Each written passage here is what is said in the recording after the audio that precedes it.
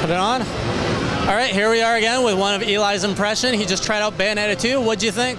Um, I thought the game was solid, similarly to Hyrule Warriors. It is, after all, an action game.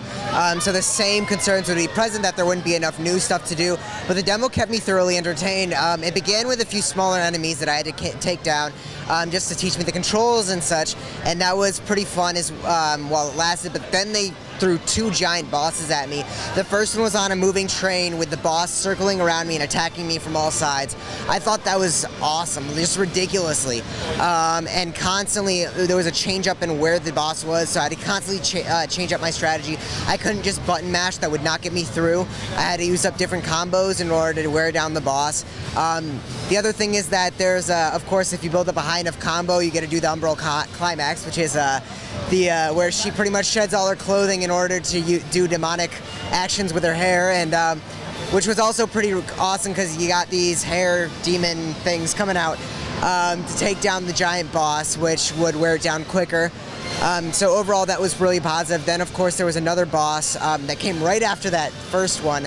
Um, same sort of thing where I had to build up a combo in order to um, take the boss down and get this sort of special feature of the game.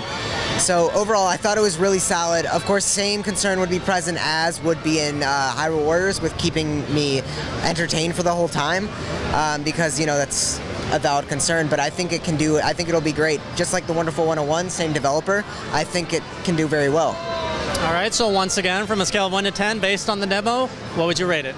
Um, I'd say I'd excellent. I'd give it like a nine demo, nine. Um, if it can keep it up the same way, I see a same score because it was it was very well done, the demo at least, and I'm really looking forward to the full Bayonetta game once it comes out in October.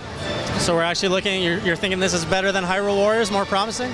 Um, I enjoyed it more than Hyrule Warriors, not just because Bayonetta is more attractive than Link um, or Zelda, but more because I felt like the gameplay was adequately more refined. There was more opportunities to do combos, which in Hyrule Warriors there were combinations, but I felt like if I would just button mash, I would reach combos not the same way in Bayonetta. Um, so that's kind of just where I came from. All right. Well, you heard it from Eli first. Now let's go to another game. See you after.